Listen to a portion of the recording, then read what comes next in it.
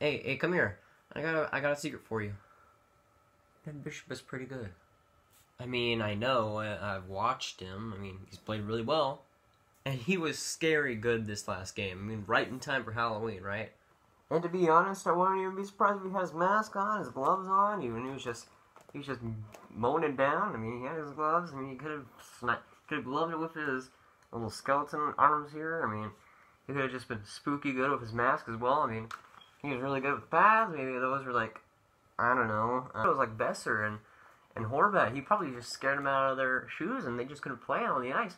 They they were just stunned by how spooky good Ben Bishop was, and they just couldn't do anything because they were just too scared for even shooting or even doing anything on Ben Bishop. Uh, makes sense, I guess. No, you gullible piece of crap. I just made all that stuff up. Ah, you got me, but Ben Bishop's still good, right? Oh, well, that, that's real. Hello, guys. Welcome back to DSFR today. I'm going to be talking about Stars versus Canucks, Game 12 of the Stars season.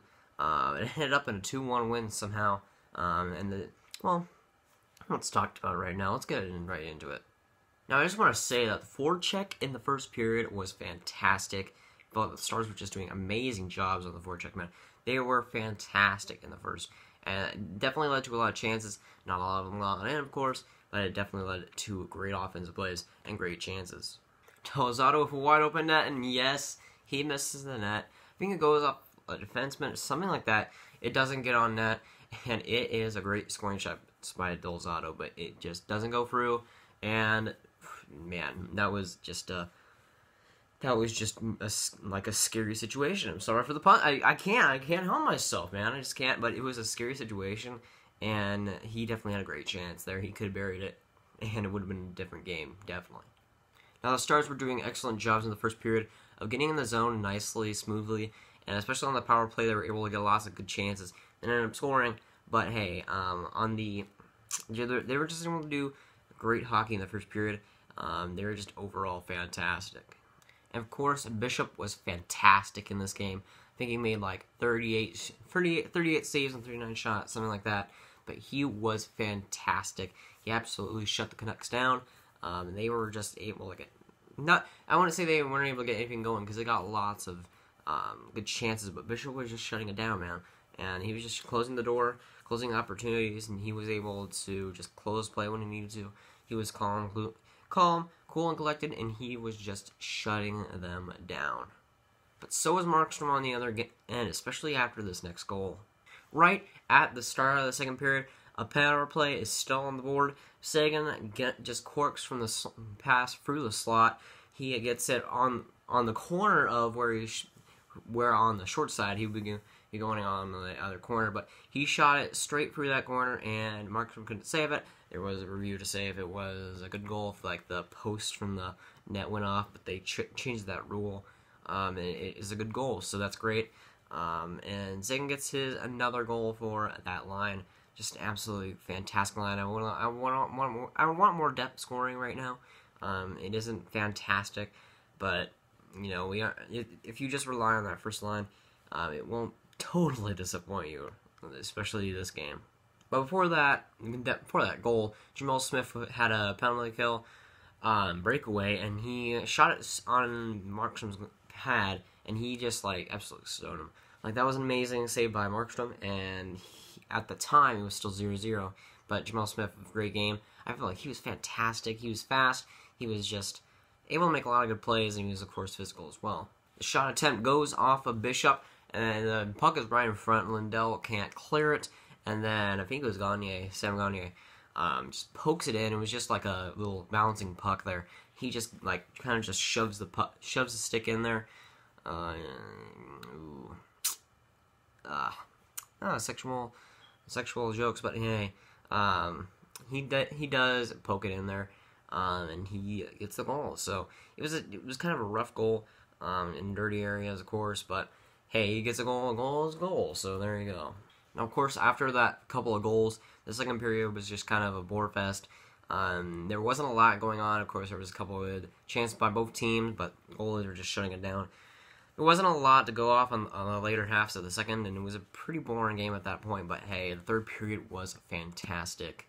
third period, a lot of chances from both teams. Both teams were fantastic in the offensive zone, and well, there's a, quite a few golden opportunities. But Bishop was fantastic for the Stars, and Markstrom was great for the Canucks, and that's just what it comes down to.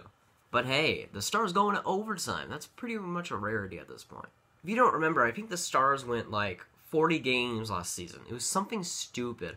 How they went like this super long streak of not even going into overtime for the whole season. It was kind of a, like it was kind of it kind of sucked because I love overtime hockey and they they did a lot in the 106 or whatever it was point season. Um, but I love overtime and I love seeing it. Um, and they didn't do a lot for last season, and it's taken a while to get it. Well, it's taken until game 12 to get into the overtime, and I love overtime hockey, so it's a big win for me. Now, before we get into the goal, you know that goal. Bishop was phenomenal this this overtime and in this whole game, but especially this overtime, he was lighting it up, man. Not in the scoring race, but dude, he was amazing. Um, the BD, and you know, I, I gotta give some credit to the defense. The defense was good today. Yeah, it was scary good. Even though they allowed a little bit of chances there, um, they they were still solid a lot of the times through. Bishop bailed them out a little bit there. For this whole game, there was a quite a few chances that the Canucks could have gone through. Um, but hey, that's hockey. But the defense was fine, and I I don't know what I don't know how I can say this at this point. The defense was fine. It was he was good. Just like the last game, we allowed only one goal. It, it might be looking up for us. I don't know. I mean, both times the goalies were just fantastic, but the defense was okay, and that's something to go off of. And then a shot off the boards goes right to Radulov. He um, he skates up into the offense zone. He doesn't even have a thought of passing it, dude. Um, and I wouldn't either. There wasn't a lot of room for the other guy. I think it was Benn up out there. But Radulov shoots it. When you're now, just shoot it. It goes off Markstrom and into the net. Two one stars in overtime over the Vancouver Canucks. And hey, we're seven and five now. I think we might be second in the division over Colorado. Um, I think they had a six and five record as well. Um, and hey, that that's something great. That's something that'll definitely boost the morale of this team. And this was probably the biggest win at this point for the season.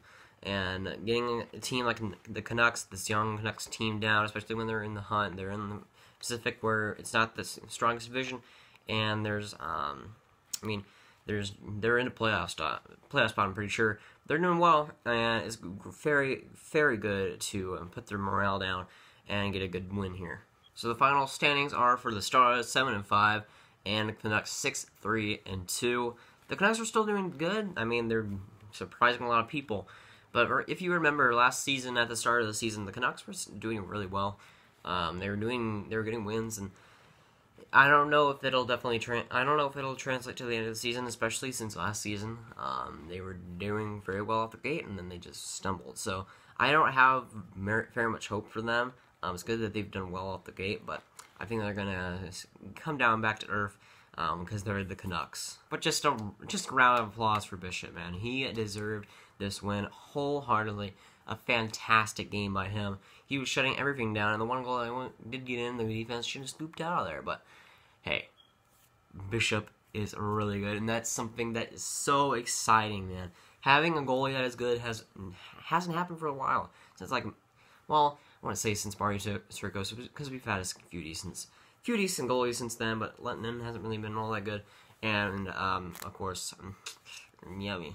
Well, let's not speak about him, please. But that's to be it for today, guys. Guys, enjoy. Make sure to like. If you guys really enjoy, maybe subscribe. And I'll see you guys all later.